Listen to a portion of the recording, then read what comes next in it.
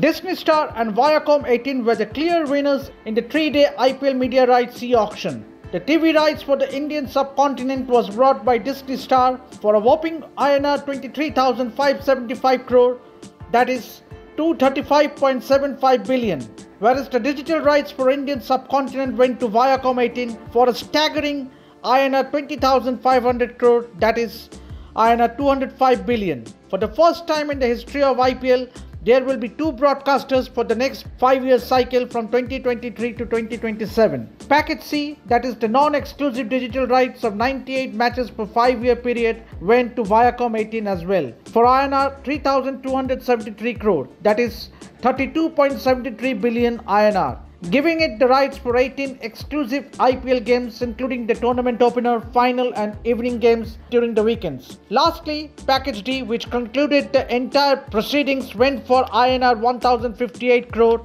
that is INR 10.58 billion, with Viacom 18 and Times Internet securing the rights. The Board of Control for Cricket in India was reached by INR 48,390.52 crore more than two and a half times more than the previous media rights auction, which was held in 2018, with an overall value of rupees 16,347 crore. Here is the final standings of the IPL media rights for the cycle 2023 to 2027.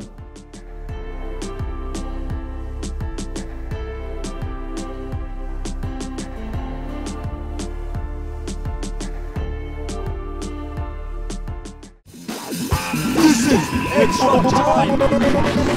Extra time!